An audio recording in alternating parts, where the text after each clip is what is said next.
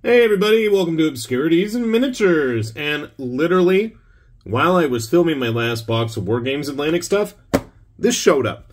Another box from Wargames Atlantic. Not that I'm complaining, mind you.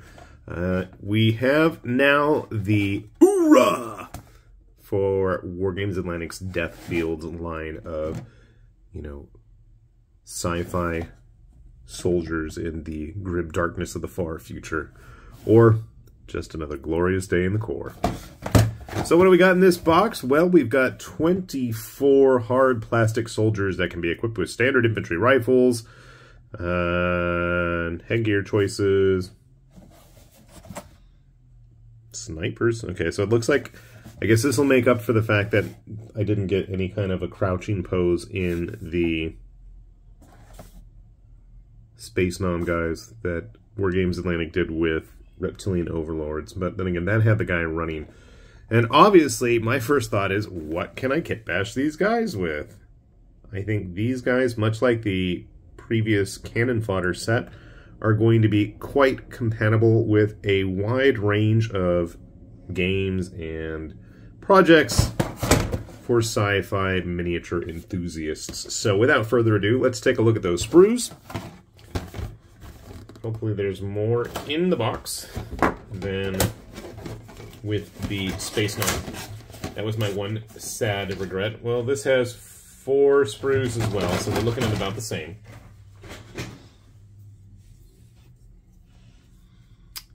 So right off the bat, I kind of actually appreciate the fact that the body is actually one piece. I don't need to faff around with trying to get everything lined up. It's just nice, simple, straightforward. Everybody's feet are on the ground, which is going to make putting them on bases of whatever type you feel like much easier. And there is a full array of weapons, and thankfully we also do have the numbers to correspond to all of the various guns. We do have a couple of, I was going to say individually handed weapons, but maybe not. I don't see anything in the way of close combat weaponry, which can go either way, you know. So we've got like all the basic rifles. Got the big cannons right here. Are they the same or are they different? They look pretty much the same. I'm assuming that's a grenade launcher. I have no idea. This looks like it's part of a flamer, maybe? Another grenade. We'll get to the heads in a sec. Shotgun's an interesting choice. I'll take it. And then this looks to be the sniper rifle right here, even if it's upside down. That's okay. We're going to probably go ahead and build at least one of every weapon just to see, let you guys see what they all look like. Got a pistol on there. I'm assuming these things are yeah, they're backpacks of some sort. Got an assortment of other hands. Most of them are designated with a number, so I guess they have very specific uses. A couple of random little bits. Then I saw a grenade. It looks like a grenade, doesn't it? Maybe it's only part of the gun. I'm not sure. All right, what kind of heads do we have? We've got some typical near future sci-fi helmets that are totally out of focus. That helps. I mean, my first thought obviously is Colonial Marines and Aliens.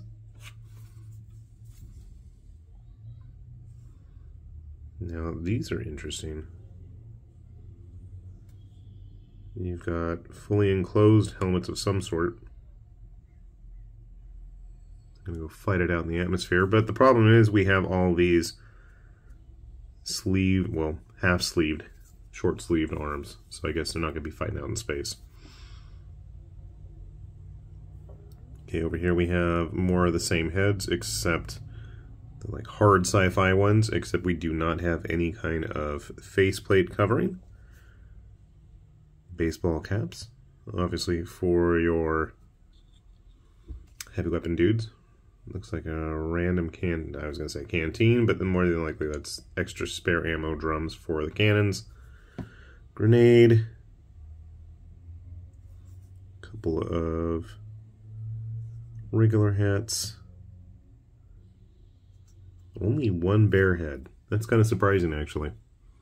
Of course, if you're like me and you have a pile of these kits of various sorts from Wargames Atlantic or just about any other plastic minis manufacturer, you probably have your fair share of heads to play around with.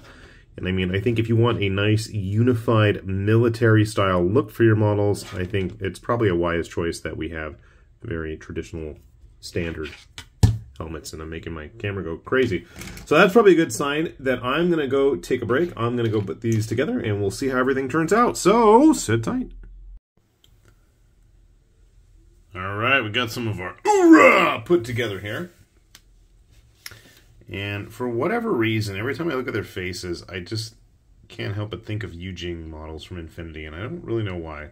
Now, admittedly, there is a bit of a mess there, both on my hands and the model. We'll get all that cleaned up, obviously, but I just want to give you guys a quick look-see as to how a basic infantryman in the Marines is going to look in the far future. So one of the things that I noticed right away was that we have a lot of options for the hands.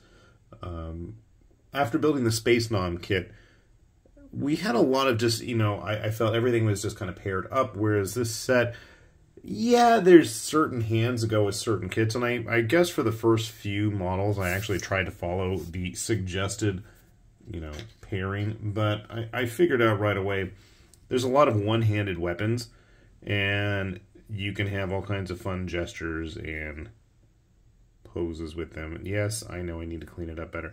One of the things about having to put these on camera is I notice all of the imperfections and hastiness of me getting things ready to film. I forget to finish cleaning off a lot of these models as best as I should.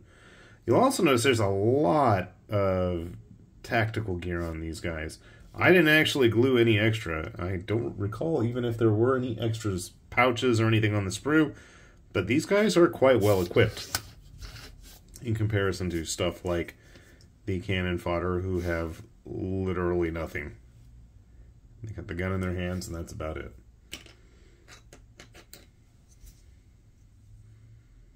More basic pose. Just as gluey of mess.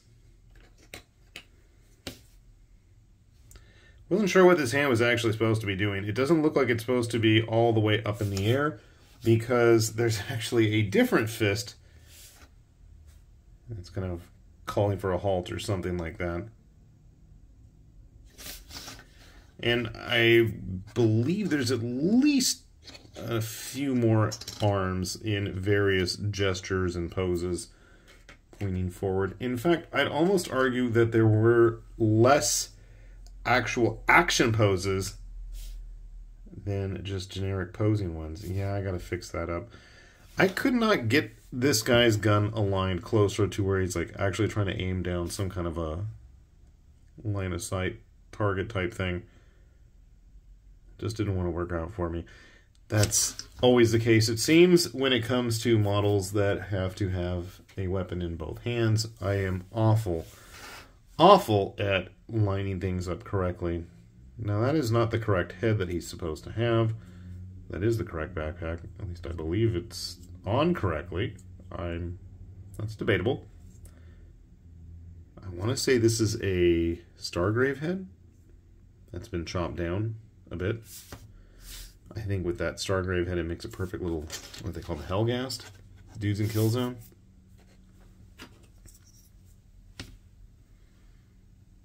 Mm, I don't know. Is it the same?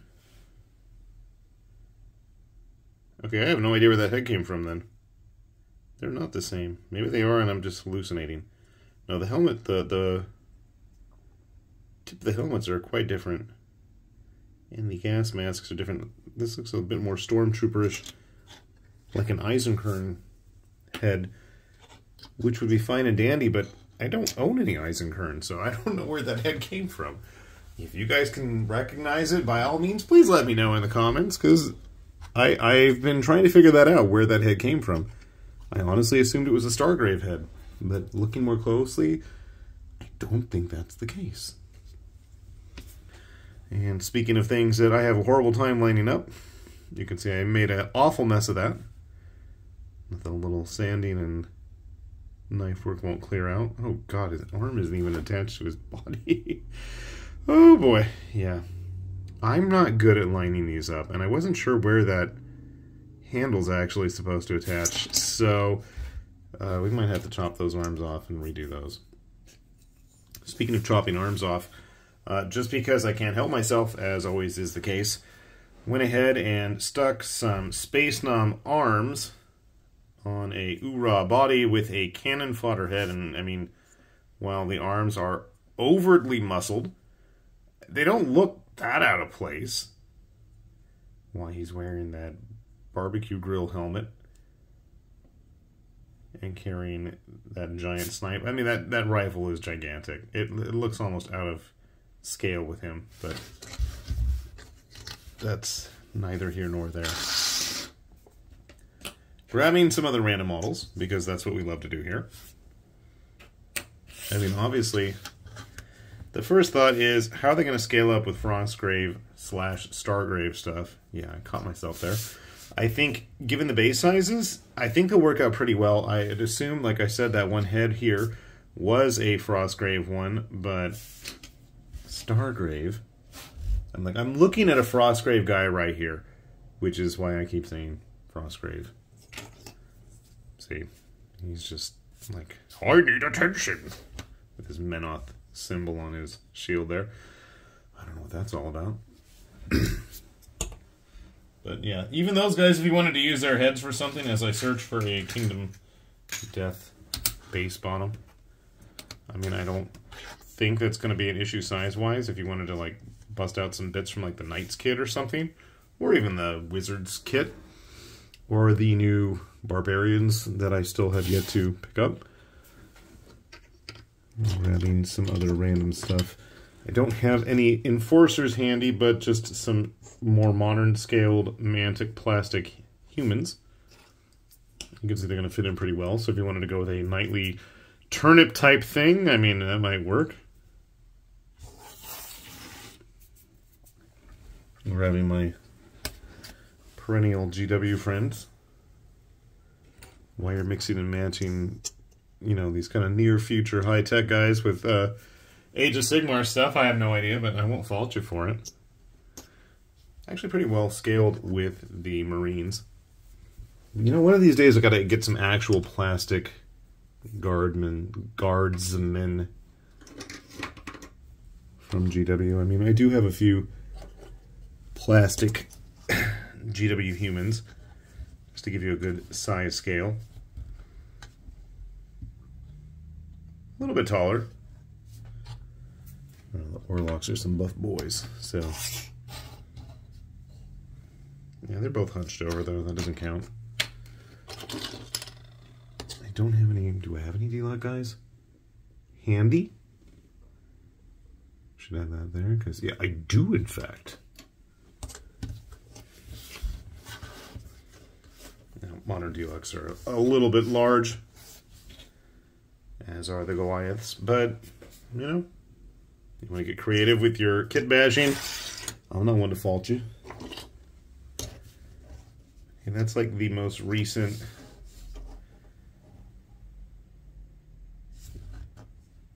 Astra Militarum type model I believe I've got on my shelf. It's a universal guard from the Maker's Cult that I printed just to give you guys a good size idea. I'm looking around if there's anything else that might be of similar Oh, well, obviously, like I set all these Wargames Atlantic guys out. Why am I not grabbing them? I don't know. There's just too much stuff in front of me, and that's why. Obviously, scaling quite well with the ever-expanding range of Deathfield's kits. Am missing one. Le Grognard. You know, I have painted more of them. I should get one that's in a little bit more of an upright position rather than kind of doing his horse stance, squatting down with his gun there. But, I mean, you know, like all Wargames Atlantic plastic kits, I think there's a lot of absolute kit bash potential. For whatever reason, I kept thinking of Romans. I don't know why. I think with their late Gothic and Roman kits, might be able to come up with some fun, bizarre kit bashes before you go all full mutant, like as I'm often want to do. Like some of them RGD satyrs might be fun to mess with. Anyway, so I gotta say, overall, nice, fun kit. I gotta say, it's a lot more versatile, I think, than the Space Non guys, which I would have grabbed, but I can't seem to figure out where I put them, so my apologies to Reptilian Overlord for not including those. Uh, but I think if you're looking for some nice, solid, I don't want to say generic because generic I feel is kind of like a derogatory term for a nice kit like this, but like universal in their usage and appeal. I think this kit's got a lot of potential going for it. You know, there's a variety of weapons. You've got, you know, the shotguns, there's pistols, there's the big old auto cannon type things. There are sniper rifles, not anywhere as ridiculous as this one. I, but this guy's just a cool guy like that. This guy needs like a camo cape or something on his back. Hmm. All right. Thinking out loud here. But just the variety of hand gestures, hands in general, uh, poses, weapons, even stances. this is one that I was kind of lamenting. We didn't have any guys squatting down, ducking down. Uh, thankfully, just about everything, even the guys in the more active poses, do have at least something of that back foot still on the base. So they are a little bit less apt, I think, to go snapping off at the ankles when you inadvertently grab them to move them into whatever new area they're entering. But I know I've had that issue on far too many occasions, snapping models at the ankles because it's just too much weight on such a little contact point. So thankfully, that's not the case with these guys. Uh, I got plenty in a box, so I'm going to continue to goof around and experiment with them and hopefully figure out a decent, simple, basic paint scheme to get them started, and hopefully we will see them back here soon on some Monday morning videos. So, as always, we will have that link down below if you haven't ever had a chance to check out Wargames Atlantic's site. They are always running some kind of cool deals, so if you are looking to bulk up whatever kind of army it is you're interested, do take a look because they always have some great deals there. And with that said, this has been High Lord Tamberlane rambling on for far too long with obscurities and miniatures, saying thanks for watching, and we'll see you back here soon. Bye-bye.